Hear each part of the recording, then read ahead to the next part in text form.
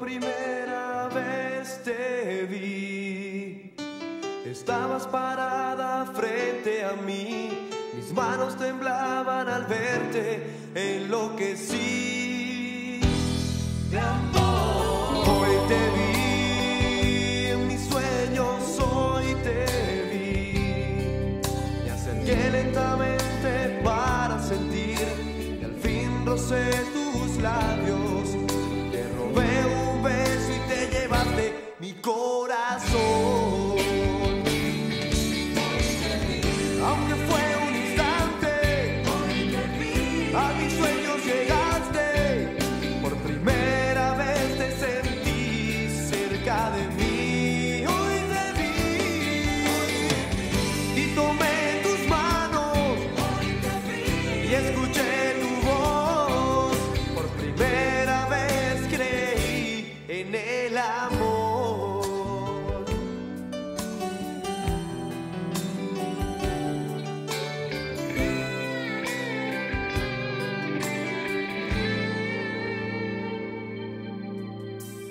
Te vi con tu novio, hoy te vi.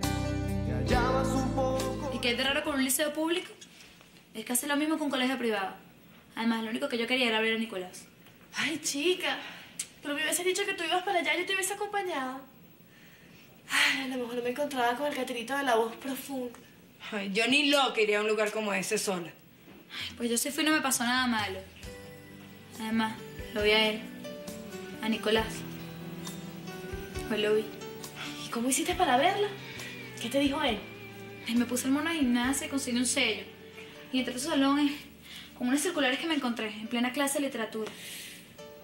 De verdad que tú estás loca, Jessica. Estás loca de remate. Ay, pero si todo lo hiciste por amor. Ay, qué emocionante. Y me dijo claramente, y delante de todos sus amigos, que no quería saber más nada de mí. Ay, te lo advertí, Jessica. Él lo único que quiere es burlarse de ti. Ay, Quizás tenga razón, Lili, pero mira. Ay, él me dijo algo que me llamó mucho la atención y que, que no sé, que me dejó dudando. ¿Qué sería? Algo de Luis G, que ellos dos habían hablado. Mira, yo no sé qué voy a hacer, pero yo tengo que averiguar qué pasó. Yo no me puedo quedar con la duda.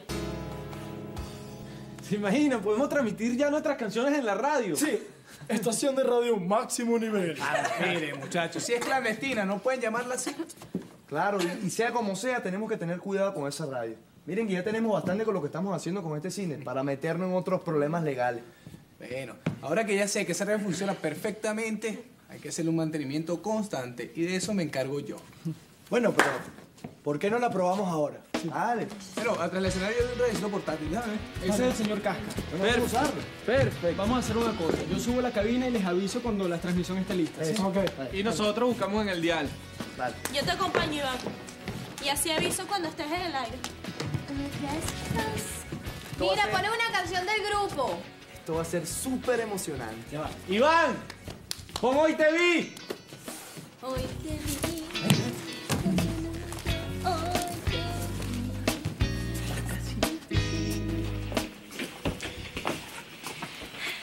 Yo necesito hablar contigo, Iván. ¿Qué pasa, Josefina? Tú sabes muy bien qué es lo que pasa. Mira, yo no sé de qué estás hablando, Josefina. Tú fuiste el que transmitió el otro día, ¿verdad? ¿Qué? Y sabías que yo te estaba escuchando. Por eso decías lo de mujer que amas en silencio. Mira, yo no sé de verdad de qué estás hablando, Josefina. Dime la verdad, Iván. Esa canción Escondidas, ¿tú la compusiste para mí? ¿Tú de verdad sientes eso por mí, Iván? Ustedes saben lo que significa tener una estación de radio. Un sueño hecho realidad. Es como tener una miniteca con unas cornetas súper gigantes y que se escuche por toda la ciudad lo que pone uno. Sí, es como poner mil graffiti por todas las calles.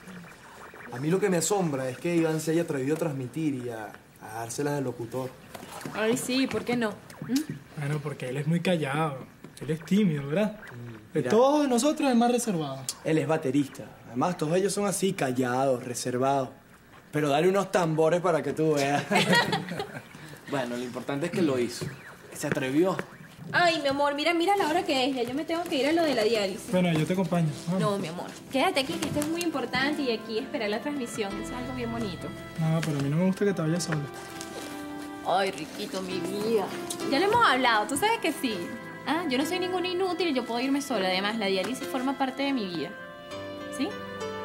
Bueno, está bien. Pero yo voy a buscarte. Ok. Ah. Chao, chicos. Chao. Bueno, ¿qué pasa con esta transmisión, vale? La radio, el que decía esas cosas tan bellas. Y tú transmitiste esa canción. ¿Por qué te empeñas en negarlo? Mira, de verdad, yo no sé de qué me estás hablando. Mm, Teresita y tú se las arreglaron y se pusieron de acuerdo para que yo prendiera la radio justo en ese momento. Bueno, pudo haber sido pura casualidad, ¿no? Iván, por favor, dime la verdad. Esa canción, ¿tú la compusiste para mí? A escondidas era para mí, Iván.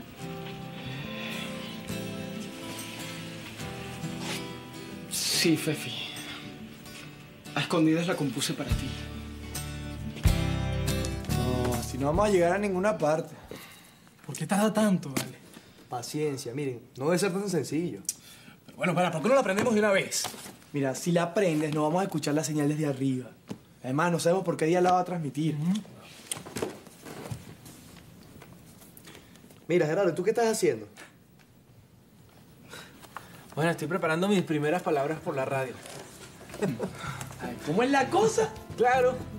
Tengo que saber qué es lo que voy a decir por la radio y si me toca hablar. Si eres prevenido, Gerardo. Mira, si nos seguimos tardando tanto, te va a tocar publicar eso como una novela en vez de decirlo por la radio. Bueno, Iván, ¿qué pasa? ¿Por qué, Iván? ¿Por qué me hiciste esa canción? Bueno, la hice pensando en ti, porque esa canción se parece a ti. ¿Y no será que siente algo más por mí? Y fue una manera de expresarlo.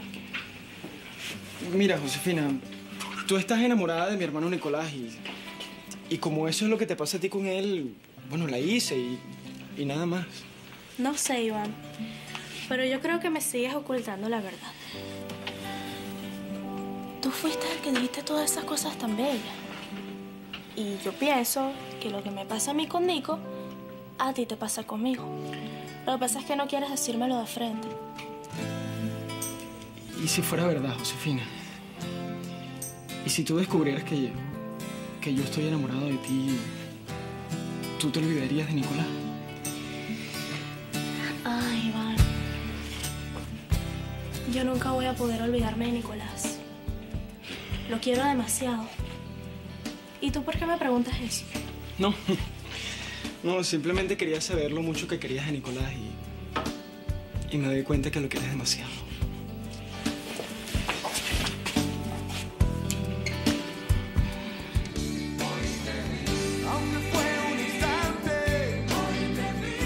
Iván, por favor, pon la canción escondida. Quiero que la escuche Nicolás. Bueno, ¿qué pasa? ¿Por qué tardan tanto? Estábamos buscando una, una canción para poner, pero ya encontramos una y es bellísima.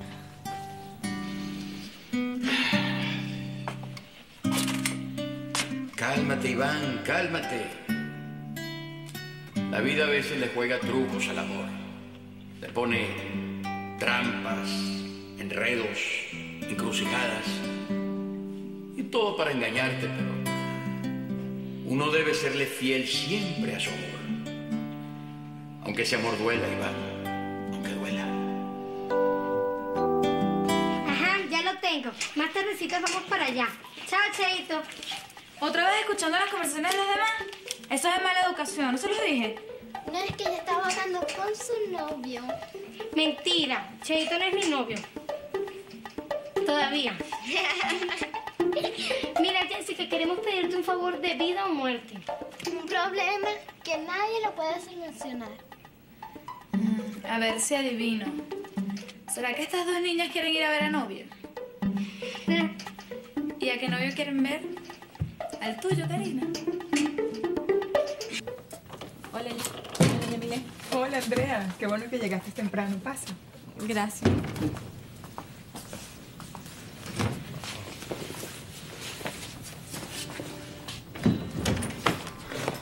Hola, Andrea. Jorge, tú por aquí. Sí, como parte de mi pasantía me toca apoyar un tiempo la unidad de diálisis. Qué casualidad, ¿verdad? Sí, la verdad que últimamente nos estamos encontrando muy a menudo. ¿Será que el destino se encarga de juntarnos? Sí, puede ser el destino. ¿Y tu novio no vino contigo? No, hoy no. Hoy yo preferí que se quedara con el resto del grupo. Además, es bien fastidioso quedarse tantas horas aquí metido. Además, no me gusta molestar. Si quieres me quedo conversando contigo. Hay pocos pacientes y de todas formas tengo que quedarme aquí. No te importa, ¿verdad? Claro que no. Y te quería pedir disculpas por lo que pasó la otra vez con Ricardo en mi casa. No fue nada, Andrea. Lo entiendo perfectamente. Mira, Napo. ¿Sabes lo que pasó hoy en el colegio? ¿Qué? Nos pusieron profesora nueva de literatura. ¿Qué tiene eso de especial? ¿Acaso es un monumento? Bueno, ese monumento, como tú dices, es nada más y nada menos que la mujer que vimos la otra noche con el papá de Gerardo. ¿Qué qué? La amante del señor Atanasio. Es la nueva profesora de Gerardo. De Nicolás y mía. Oh, vale, mira, a Gerardo se le están complicando las cosas, pana. ¡Listo, muchachos! ¡Va a transmitir una canción! ¡Búsquenla al final del dial!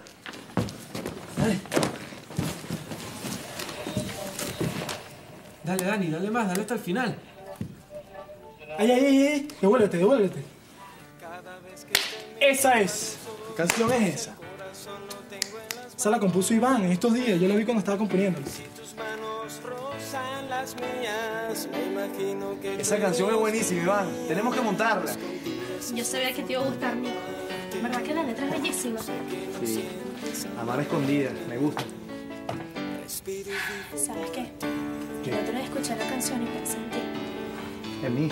Ah, pensé que cuando el grupo se haga famoso habrá un montón de mujeres que te amarán a escondidas. Ay, Fefe, no me eches broma. No, Nicolás. No te he hecho broma.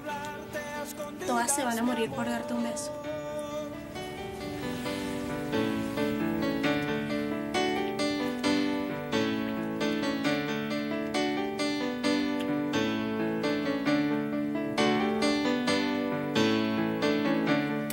Vez que yo vi, aunque fue un instante, hoy te vi, a escondidas mi amor. ¿Qué fue eso, Fefi? ¿Un beso?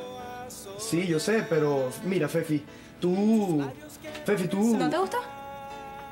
Co- ¿Cómo que no me va a gustar? Sino que yo, bueno, yo... yo... Bueno, solo quería demostrarte lo mucho que te quería y que estaba muy orgullosa por lo que había hecho con Jessica y por el grupo. Sí, pero... ¿Te molestó? No, no, no. ¿Cómo me va a molestar? Así que... bueno, Qué bueno. Tus labios quiero besar, no puedo aguantarlo a escondidas, mi amor. Escondidas Hermano, hermano, tenías razón. Yo estaba ciego con Fefi. ¿No les pareció bellísima la canción de Iván? No, bellísima, buenísima. Tiene que dárnoslas para empezar a ensayarla. No, mira, a mí me parece que está muy baladita. Hay que hacerle unos arreglos para que suene más fuerte, pana. ¡Epa! ¡Ey! Bravo, Iván. Felicitaciones. Escuchamos tu canción, me encantó. Gracias. buena, buena de verdad. Yo les dije que esto de la radio tiene poder. Además, creo que es lo único que podemos tener por ahora, ¿no? Buenas tardes, muchachos. ¿Y esto qué es? Nos atacaron, señor Casca. Alguien vino y pintó ese grafiti. Y después golpearon a Iván y a Napo. Y encima los golpearon. Sí, señor Casca. Y estamos casi seguros de que fueron los muchachos esos que vinieron el otro día. El tal Johnny Fuentes y Luis, G., el novio de la cifrinita. Esto se está empezando a poner feo, muchacho. Yo vengo de la casa de Eusebia. ¿Usted fue donde doña Eusebia? Sí, hijo, sí. Y ahí estaba tu padre. No. La doña le va a decir todo a mi papá. No. Pudo decírselo porque él preguntó de dónde te conocía yo, pero ella se guardó lo del cine. De verdad. Sí. Y eso me preocupa más todavía, porque conociendo a Eusebia, puede ser una carta que se está guardando bajo la manga. Teresita, ahí en su puesto.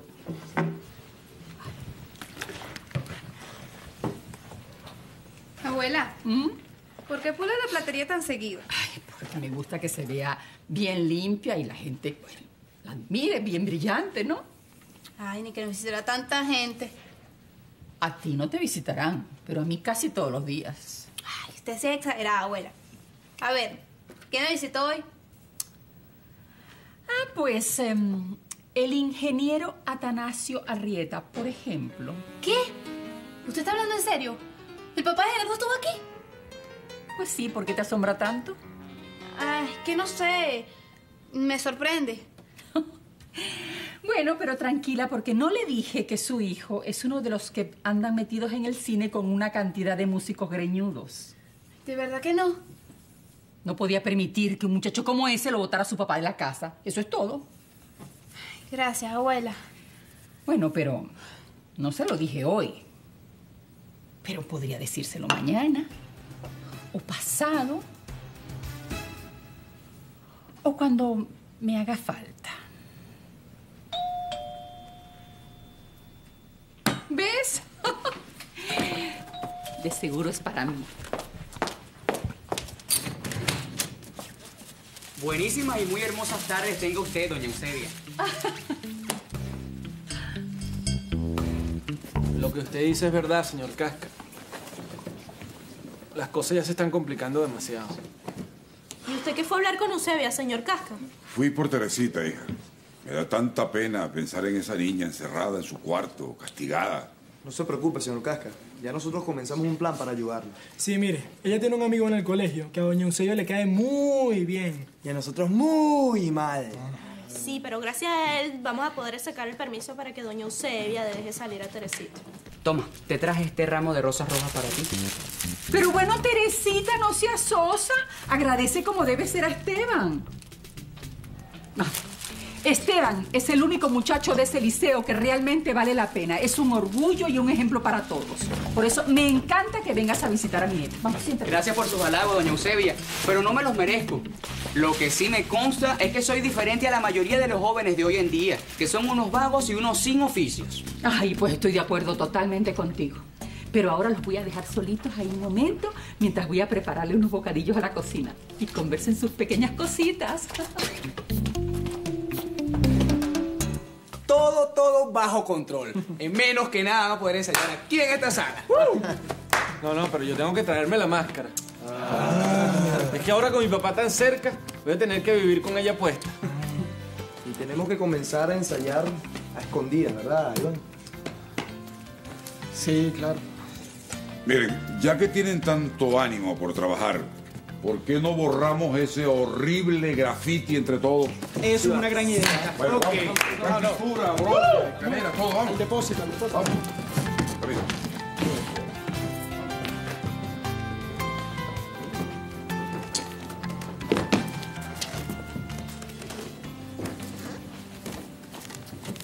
Discúlpame por lo del beso, Nico. No, Fefi, no te preocupes. Solo quería que te preguntaras si tú nunca has sentido nada especial por mí. Mi- mira, Fefi, yo... Mira, No importa, Nico. No hace falta que lo digas ahora. Solo piénsalo, ¿sí?